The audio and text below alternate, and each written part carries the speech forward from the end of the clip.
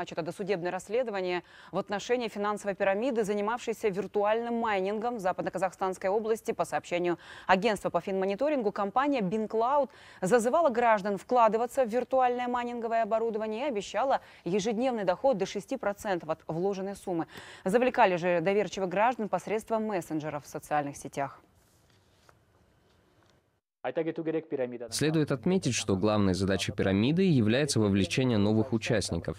Как правило, учредитель пирамиды, накопив значительную сумму, прекращает выплаты и исчезает со всеми деньгами. Если вы стали жертвой такой деятельности программы BinCloud, просим обратиться в территориальные департаменты АФМ или позвонить по телефону доверия.